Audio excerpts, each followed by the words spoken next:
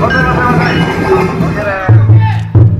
Lần này khi mà đi sang Nhật thì rất là may mắn khi mà được gặp một cái lễ hội à, tại Nhật Bản và học sinh Ngọc cũng có tham gia cùng cái lễ hội đấy.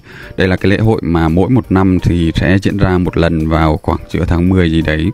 Ừ, cái lễ hội này nó thường thực hiện sau khi mà kết thúc một cái mùa vụ à, bội thu và sau đó thì người ta sẽ cầu mong cho một cái mùa mới tiếp theo, sẽ là à, cây cối tốt tươi nên là mỗi một khu phố như thế này người ta sẽ à, kéo một cái xe như này bao gồm rất là nhiều những cái bạn trẻ cũng là đi cùng kéo và đi vòng quanh trong cái khu phố của mình và cùng nhau hô một cái khẩu hiệu mà bác sĩ Ngọc không biết là gì cả.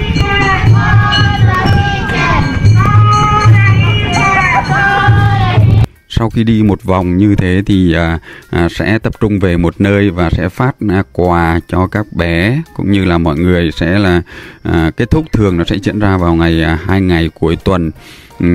Hết mỗi một thôn thì sẽ có một cái xe như thế này và một cái màu áo khác nhau. Có thôn thì cái màu áo đen có thôn thì màu áo đỏ.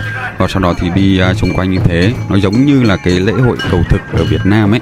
Nhưng mà thực sự là đây là rất là may mắn bởi vì lâu lắm rồi mới có cái lễ hội như thế này. Bởi vì những năm trước thì dịch thì nó sẽ không có. Và bây giờ thì bắt đầu mới có lại thì rất là may mắn lần này. Thì khi mà sang à, đến Nhật thì uh, tình cờ là bác sĩ Ngọc được uh, tham gia cái lễ hội này luôn.